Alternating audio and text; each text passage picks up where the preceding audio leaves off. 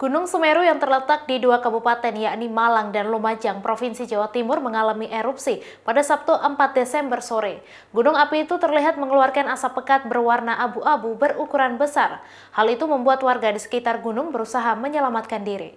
Dikutip dari tribunnews.com, Gubernur Jawa Timur Kofifah Indar Parawangsa melalui akun Instagram pribadinya @kofifah.ip juga membagikan video erupsi Gunung Semeru. Dalam unggahan video itu, Kofifah memberikan keterangan bahwa telah terjadi peningkatan aktivitas Gunung Semeru.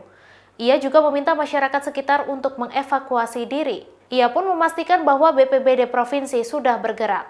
Kofifah menyebut BPBD Kabupaten Lumajang dan Bupati Lumajang juga sudah bergerak ke lokasi. Tak hanya itu, Kofifah juga menyebut malam ini akan tiba di lokasi. Ia pun meminta doa dan ikhtiar agar semua pihak diberikan keselamatan.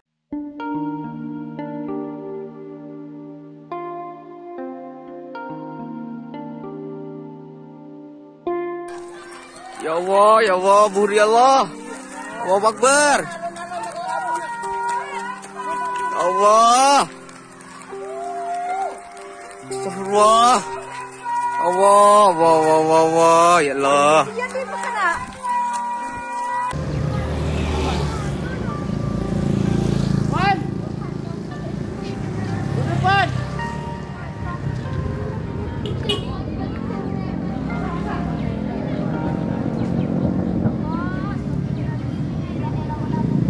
Semeru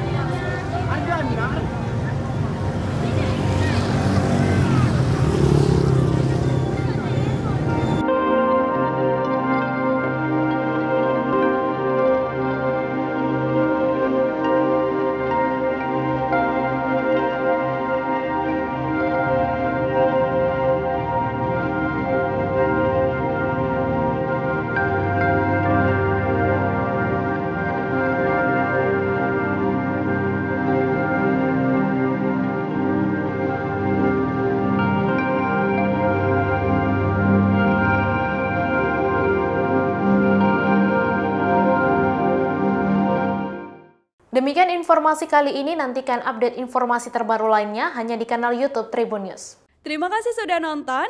Jangan lupa like, subscribe, dan share ya.